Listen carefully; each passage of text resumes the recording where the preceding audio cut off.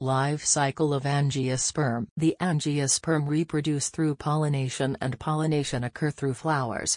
So first we discuss about the flower. Stamen. The male sex organ of the flower is called stamen or androecium. The stamen contain anther and filament. The anther is present at the tip of the filament. The pollen are produced in anther. Carpel. The female sex organ of the flower is called carpel or gynoecium.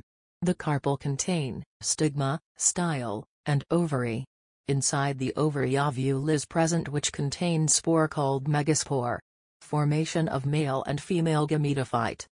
The spore inside the anther is called pollen. The pollen is diploid it undergo meiosis to become haploid then undergo mitosis and form male gametophyte.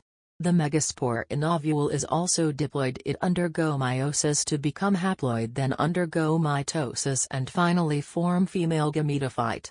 Pollination The male gametophyte fall on stigma, move through style, enter into ovule where double fertilization occur and form zygote which is called seed.